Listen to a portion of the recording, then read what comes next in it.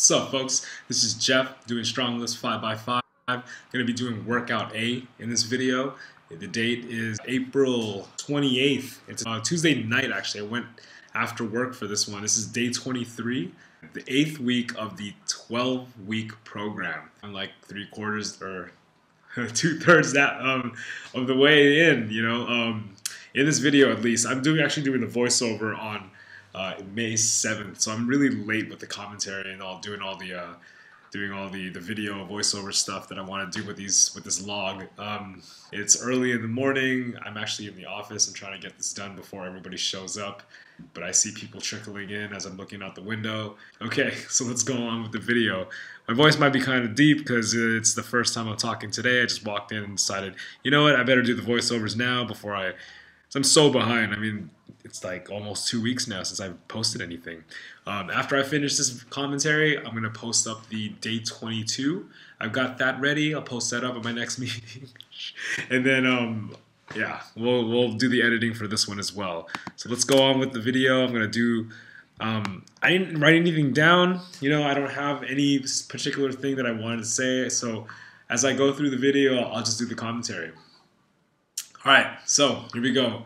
Um, this is the warm up. It's the typical warm up. I've been keeping my warm up pretty consistent for the past few weeks. Uh, I do uh, one or two sets of five uh, without any weight on the bar, so that's 45. And then I do one or two sets of 95, you know, and then after that, I do um, one set of three for 135, 185, and then two, 205.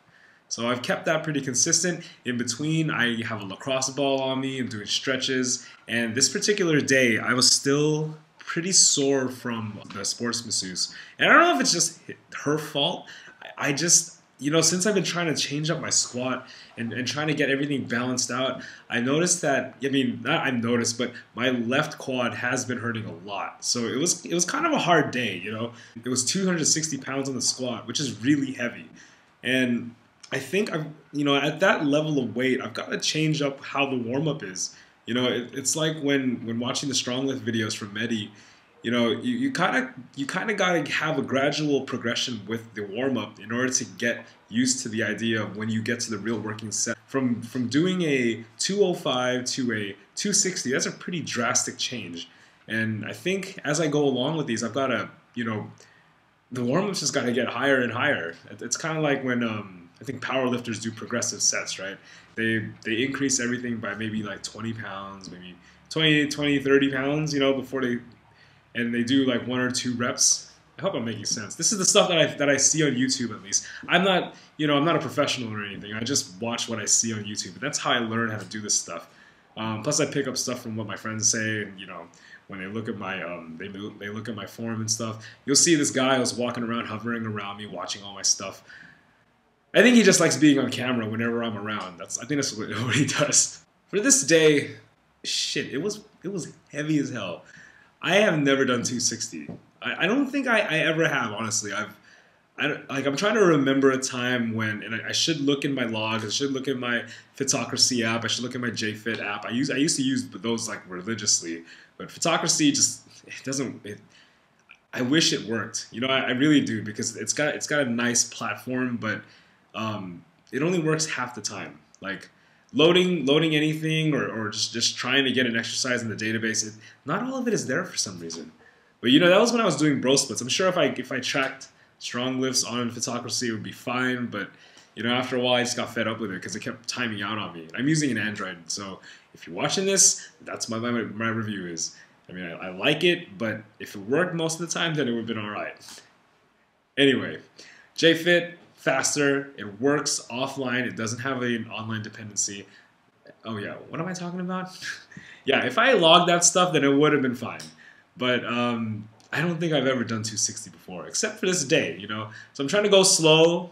You know, that's why these sessions are longer now. Like I, have been trying to get these videos under 10 minutes, but I can't just plow through these, these squats anymore. They take a lot of concentration.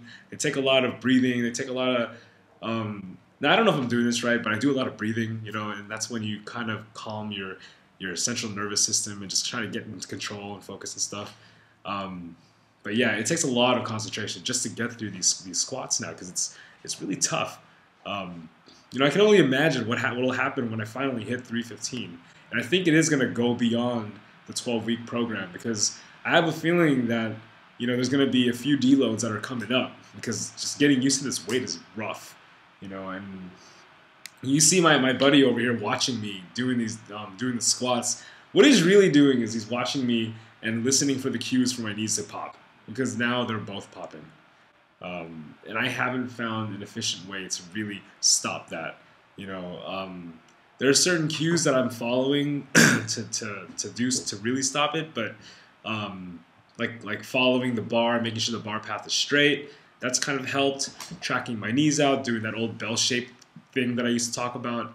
Um, and what I mean by that is I'm pushing my knees out, squeezing my hamstrings in, and then pushing my hips out all in one motion so that it all, it's all kind of fluid and, and, and, and kind of like a kind of like you know how when you do a deadlift there's a whole bunch of stuff happening but you do it all at once it's kind of like that um, that's kind of helped a little bit and and it's weird because keeping that consistency with with those types of movements has been pretty hard for me especially at the heavy portion of the squat you know, I, I tried doing it at the, at the end of the day, and, and despite being able to have like cereal and a whole bunch of carbs throughout the day, just to have it running through the system, it it it didn't affect me so much for this particular lift.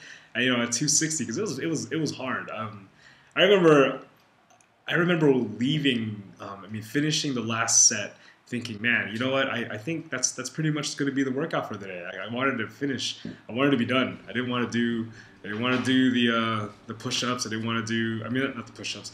I didn't want to do the bench press, and I didn't want to do the Pendlays after that. But you got to get through it, right? That's part of the program. It's going to be hard. Things are going to get hard, and you just just got to keep going. So let's talk about some other stuff. if you looked at my pocket, I had this orange dongle that was hanging out.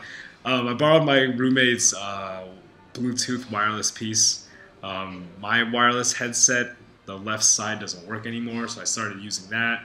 It is actually it's, this actually was kind of a bad day. I mean, as you can see now, the camera angle and the camera focus has changed. It's no longer the fisheye lens that it was.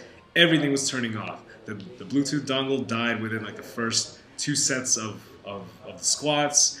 My camera died because I forgot to charge it. And thing is with the SJ4000, um, I'm not doing any advertisement, so don't think that I am. I'm just saying the SJ4000 does not hold its charge. It's kind of bad.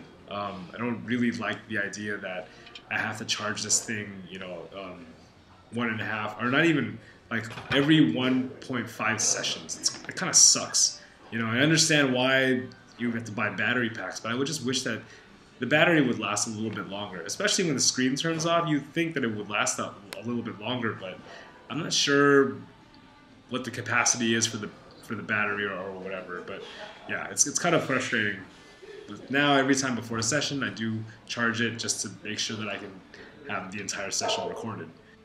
Yeah, so bench press 175. This was affecting me because it was heavy, and um, it was it was interesting because how much of my energy and my strength transferred over from the squat, the heavy ass squat, to the bench when, when I was doing this, my bicep was hurting, and I think it's because of the bad placement that I've been doing with the squat. So, you know, in order to handle the weight and, and, and just trying not to have the uh, the knees pop or anything, I've been trying to have the bar held in certain ways so none of that stuff happens. And it's been kind of difficult. It's, it's a little different. I'm trying to change everything up, but I I'm still getting used to that whole hand motion and all that stuff. So. Um, I don't know. And it transferred over to the bench press, which is kind of annoying because why would my biceps hurt if I'm doing bench press? I don't know. But uh, I know that allowed to do get engaged when you're doing the bench. Um, and I guess that's part of the back. It all kind of relates. It's all compound movements, right? So maybe I should just keep that in mind when I'm doing this. But other than that, the, the bench was fine. You know, 175, I'm getting there. I think once I hit 185, it is going to start getting difficult. I remember back during bro, bro splits, um, 185 was always my stopping point, and I it was it was so hard breaking that that 205 barrier, and just hitting 225. I think the last time I hit 225, I did it for four, and that was months ago. You know, it was a while back. All right, Pendlay rows. I have no complaints here. I just did it. I know at that point when I was going to the to the first set of Pendlays, I felt like I was done just the same way as I felt like I was with the squats. But you know what? I just said, whatever, dude. Now, I think 165 was the last weight that I hit when I was doing um, barbell bent over rows, you know. Um, but with Pendlays, it's, it's nice because you, you all the power that you need is on the initial raise, which is good because you just, you know, um, it, it makes it easier, you know. Uh, but it also you also I don't know for some reason I feel it more when I'm doing this. There is more constant tension in a bent over row, but for the pendlay, a lot of the explosive power, I guess, is is in is in the initial raise, you know. And I try to have some of the tension as I go down, so I don't slam the weight as much. But um, yeah, I like them, you know, and, and it, it looks cooler because you're carrying more weight. I'm trying not to slam the weight though, because I know you don't deserve to slam the weight. Well, I don't deserve to slam the weight yet. Yet. Maybe at 225 I will, but that's going to be a ways out. I mean, we're only doing 165 right now. Anyway, um, yeah, so I'm readjusting at every pull, trying to make sure that I get that right. And, um, and yeah, so I hammered it out. It was a very grueling, tiring day. So that's it for day 23. Thanks for watching, and uh, go ahead and subscribe, like, and comment up your feedback. Send me some plur vibes if you're down and you feel that. And I'll see you in the next episode when I get back into rep mode. Thank you.